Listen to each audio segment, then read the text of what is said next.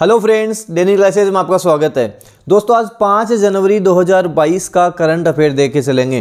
Top ten questions देख के चलेंगे जो जो इंपॉर्टेंट है, सारा सब कुछ देख के चलेंगे। चार जनवरी को जो करंट अफेयर करवाया था, उसकी पीडीएफ आपको डेनियल क्लासेस के टेलीग्राम चैनल पर मिल जाएगी।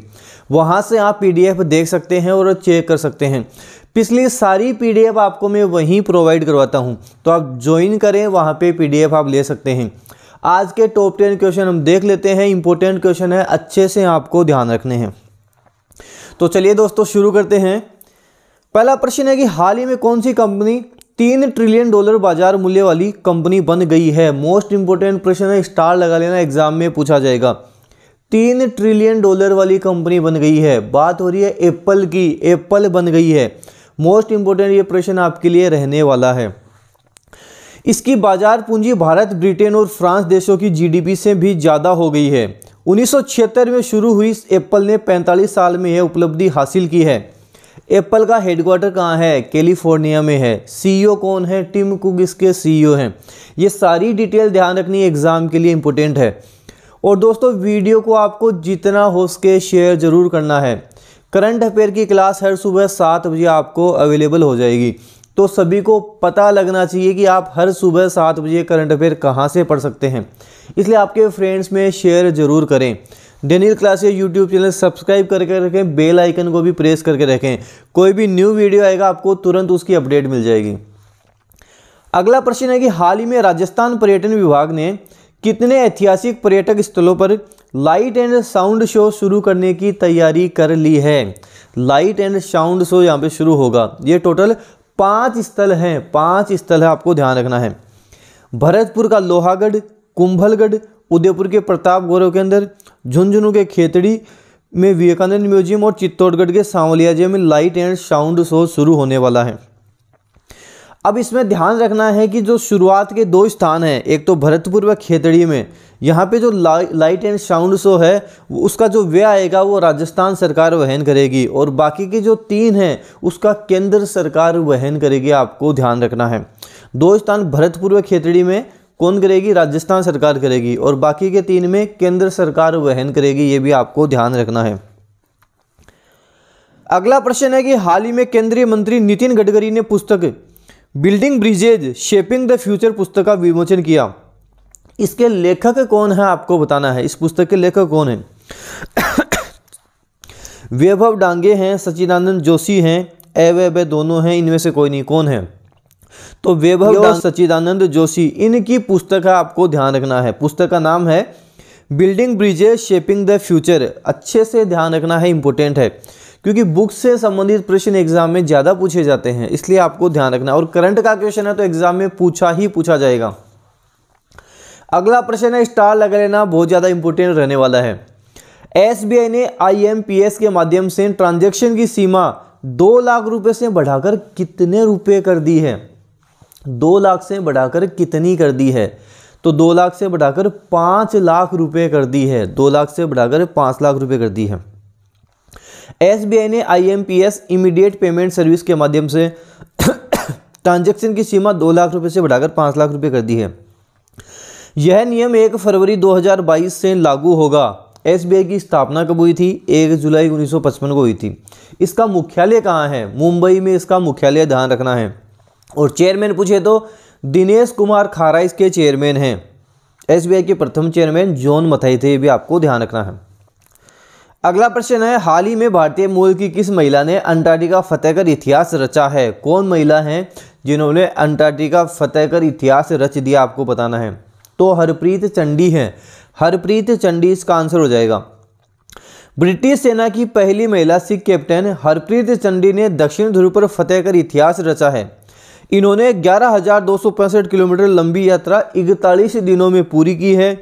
ये पोलर प्रीत के नाम से मशहूर हैं। पोलर प्रीत के नाम से ये मशहूर हैं, ध्यान रखना है। अगला है कि गणतंत्र दिवस समारोह में राजपथ पर राजस्थान की किस कला की प्रदर्शनी आयोजित की जाएगी? किस कला की की जाएगी आपको बताना है। तो पिछवाई कला की की जाएगी। पिछवाई की की जाएगी आपको ध्यान रखना। ऑप्शन से सही हो जाएगा। हाल ही में कल्पना चावला अंतरिक्ष विज्ञान अनुसंधान केंद्र का उद्घाटन किसने किया है? इंपोर्टेंट प्रश्न एग्ज़ाम में पूछा जा सकता है। कल्पना चावला, अंतरिक्ष विज्ञान अनुसंधान केंद्र, किसने किया है? तो राजनाथ सिंह ने किया है, आपको ध्यान रखना है, राजनाथ सिंह ने किया है। अगला है कि हाल ही में यूरोपीय संघ की परिषद की अध्यक्षता किस देश ने संभाली है? यूरोपीय संघ की परिषद की अध्यक्षता संभाली है, किस देश ने संभाली है? तो फ्रांस ने संभाल ली है, फ्रांस ने संभाली है। फ्रांस की राजधानी क्या है? पेरिस, फ्रांस की राजधानी है। करेंसी क्या है? यूरोपियन संघ में आता है तो इसकी करेंसी यूरो है। यूरो इसकी करेंसी है। राष्ट्रपति कौन है? तो इमेनुअल मैक्रो यहाँ के राष्ट्रपति है। इमेनुअल मैक्रो आंसर हो जाएगा। अगला है कि ओएनजीसी की पहली महिला अध्यक्ष के रूप में किसे नियुक्त किया गया है? ओएनजीसी की पहली महिला अध्यक्ष कौन बन गई है आपको बताना है। तो अलका मित्तल बन गई हैं। अलका मित्तल, इसका उत्तर हो जाएगा। इन्हें भारत के सबसे बड़े तेल व गैस उत्पादक ओएनजीसी का चेयरमैन व एमडी नियुक्त किया गया है। ओएनजीसी का मतलब हो जाएगा फुल फॉर्म हो जाएगी oil and natural gas corporation स्थापना कब हुई थी? 14 अगस्त उन्नीस सौ छप्पन को स्थापना हुई थी। मुख्यालय कहाँ है? नई दिल्ली में इसका मुख्यालय है।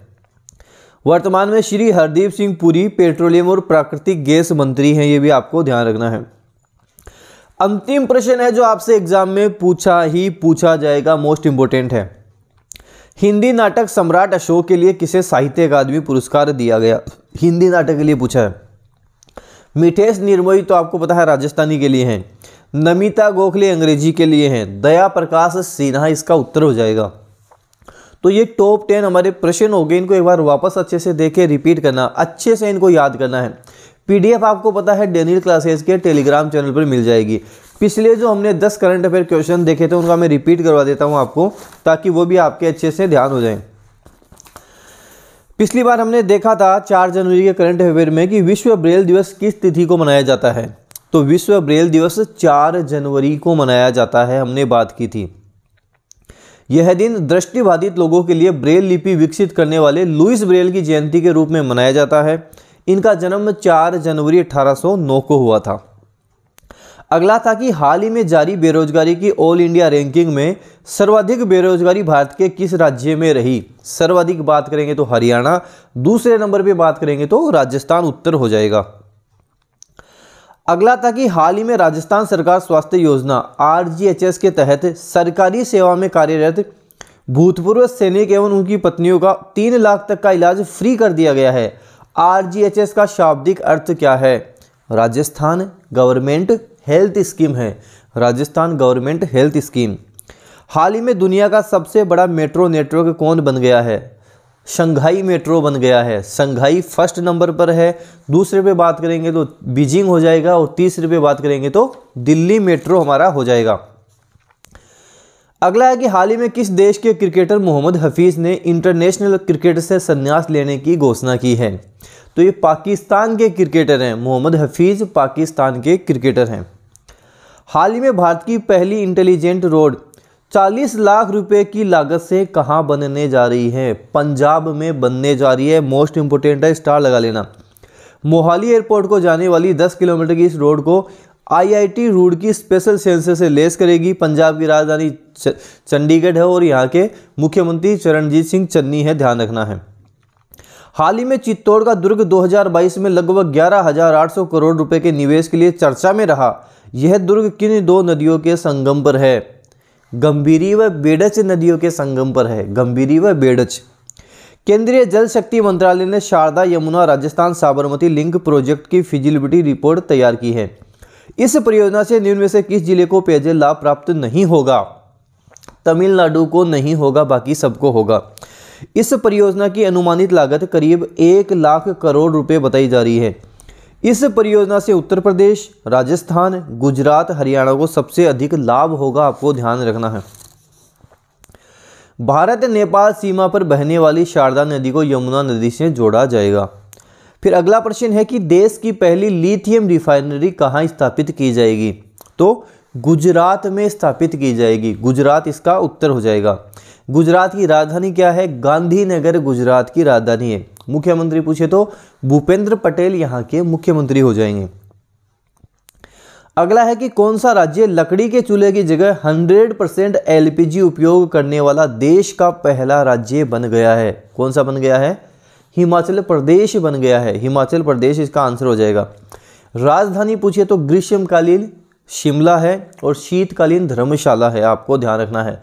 मुख्यमंत्री जयराम ठाकुर हैं। मुख्यमंत्री कौन है? जयराम ठाकुर हैं। हाल ही में बीसवा विजय हरारी ट्रॉफी 2021-22 हिमाचल प्रदेश ने ही जीता है, ये भी आपको ध्यान रखना है।